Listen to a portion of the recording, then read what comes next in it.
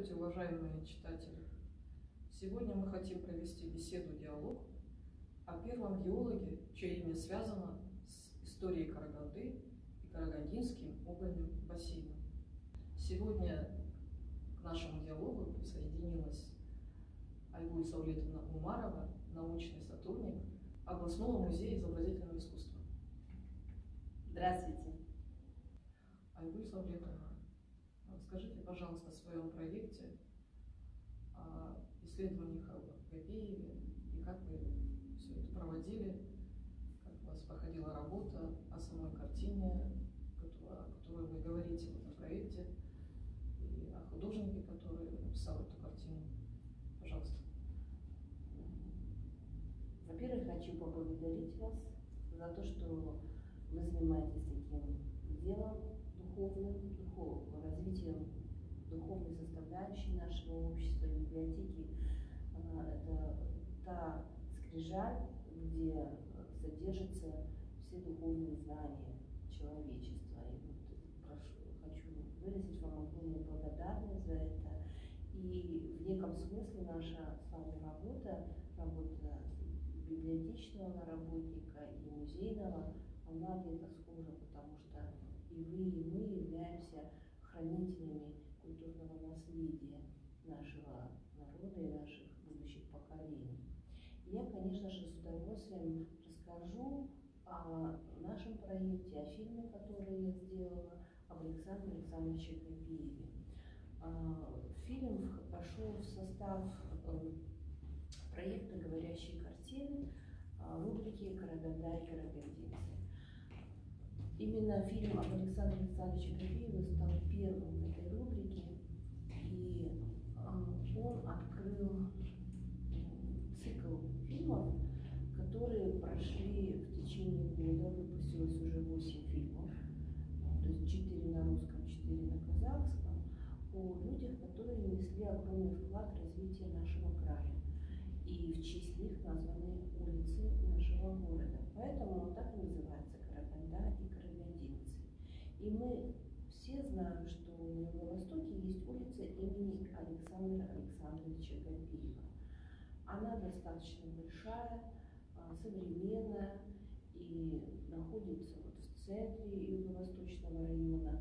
И, конечно, ее практически знают все карагандинцы. Поэтому имя этого человека, в честь которого названа эта улица, я думаю, должны все мы знать.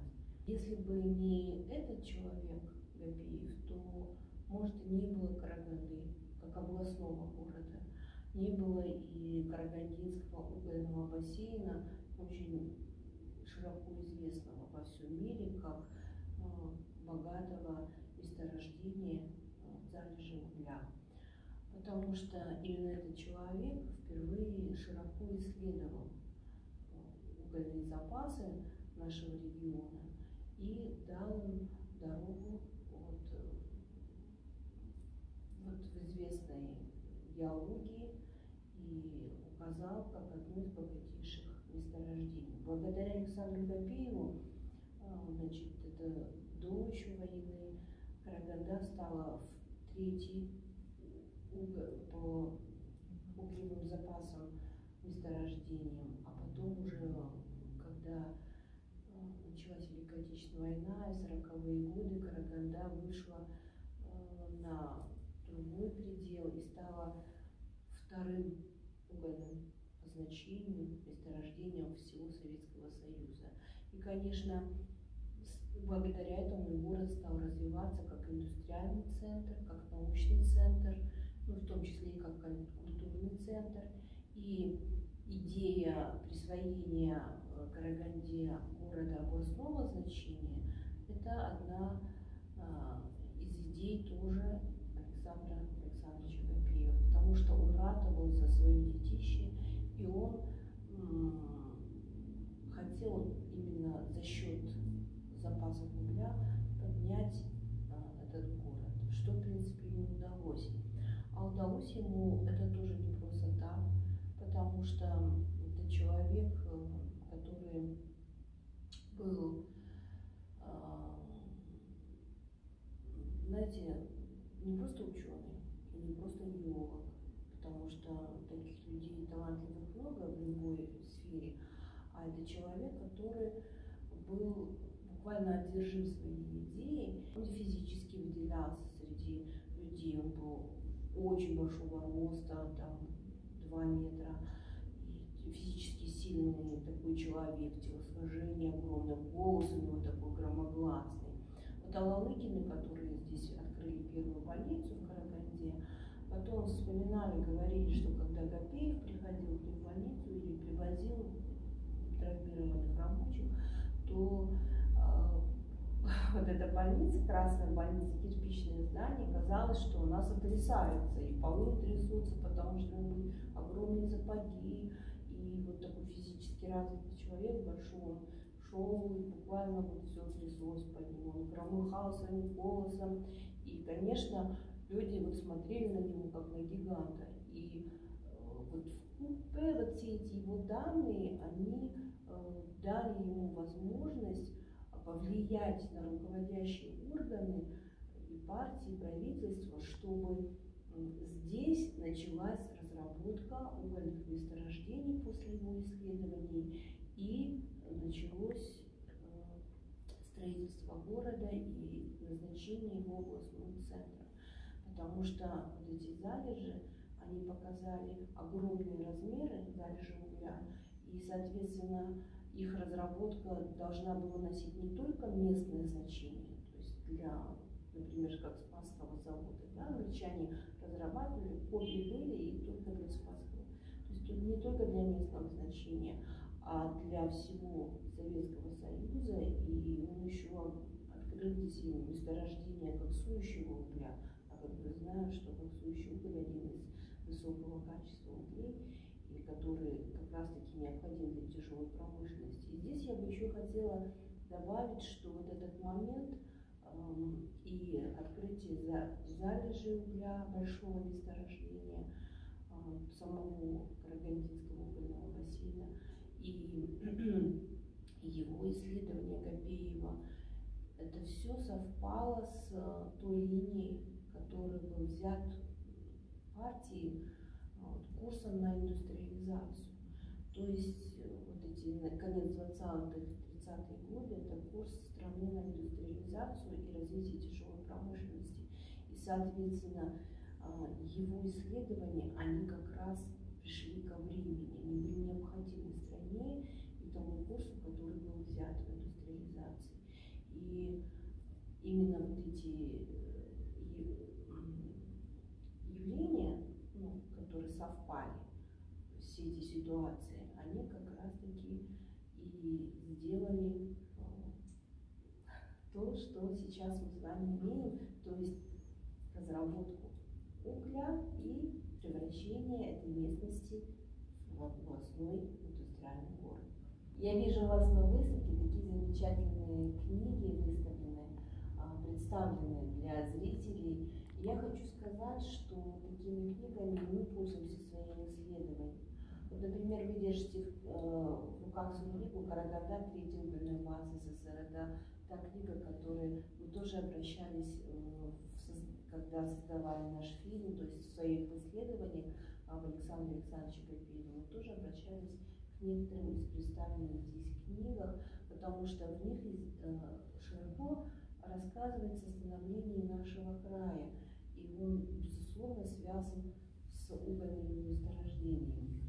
И э, я хочу заметить, что э, вот ваша работа, она, наверное, э, очень грандиозна. Может быть, незаметно да, вот для многих, для жителей, но даже составить выставку тематическую, пусть небольшую, как здесь у вас, это требует большого труда, потому что я вижу, что вы тоже занимаетесь каким-то исследованием, вот, э, представили и статьи о Гапееве, его портреты, фотографии, связанные с нашим краем 30-х, 50-х годов. Я вижу, вот та фотография это как раз связана с э, его судьбой, потому что он пер первый на машине вот, пересек нашу Саракинскую степь. Это как раз вот этот момент здесь представлен. И зрители и читатели могут увидеть не только в этих книгах, но даже вы делаете обобщение и представляете вот, историю нашего края вот, на таких выставках. За что я хочу вам выразить большую признательность. И вы облегчаете наш труд, наш труд тоже музейных работников, когда мы хотим рассказать э, для наших посетителей и дать им еще больше информации о тех или иных людях, которые представлены в творчестве наших художников, как Александр Александрович Копиев. Ну, и мы рассказываем, конечно, не только о художниках, о жанрах, стилях в искусстве изобразительном, но мы еще и, конечно, говорим о судьбах тех людей, которые представлены на тех или иных картинах. И, конечно, э, здесь большой исследовательский труд, который облегчает нам вашей деятельности. Что вам большое спасибо. Мы для этой выставки взяли в областном краеведческом музее экспонаты. Это представлены здесь молотки. Э, вот этот молоток, вот, вот как сказали, что держал сам Гапеев. Да, да. Я знаю эту историю на самом деле. Расскажите, пожалуйста. Да. Э, вообще, когда приходишь в любой музей, то музейные экспонаты руками трогать нельзя. Ну, в первую очередь. Но есть экспонаты, которые держишь все равно в руках. Вот краеведческий музей, когда придешь, конечно же, все на витрине и не дотронешься. Но вот здесь, пользуясь случаем, я хочу потрогать в руках музейный экспонат. С ним, конечно же, ничего от этого не случится, так как здесь такой металл и дерево. Э, но на самом деле это э, молоток Александра Александровича Габея, потому что он здесь пробовал немало времени, он э, часто приезжал, Караганда был его любимый город, потому что он один из основателей, это его детище, Карагандинский угольный бассейн. Но началось его исследование вот с этого молотка потому что у него к, тому времени, когда он сюда приехал, уже был большой опыт. Он проехал прошел, можно сказать, как геологи вот идут и исследуют, вот он на своих огромных геологических, как он сам говорил, ногах прошел уже десятки тысяч километров.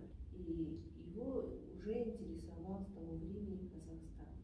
И вот, начиная где-то с 29 года, он уже вплотную стал заниматься Казахстаном. Его первые поездки здесь были уже а, в начале 30-х годов.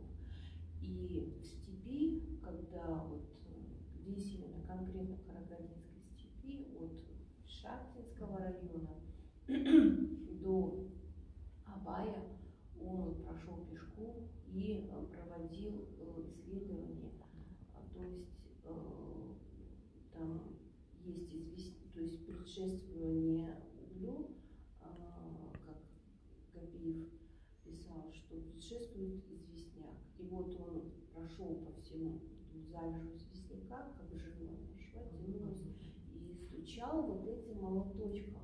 И, и э, он понял, что территория, длина идет очень большая, там до 60 километров, если не больше. И, соответственно, он сам был в шоке от того, что э, даже побоялся подумать, что это огромный массивы залежи угля. Ну, так оно и оказалось. И угольный бассейн наш Карагандинский на самом деле большой. Поэтому и входит в разряд, вот, входил в разряд такой сначала третий угольный баз, а потом второй.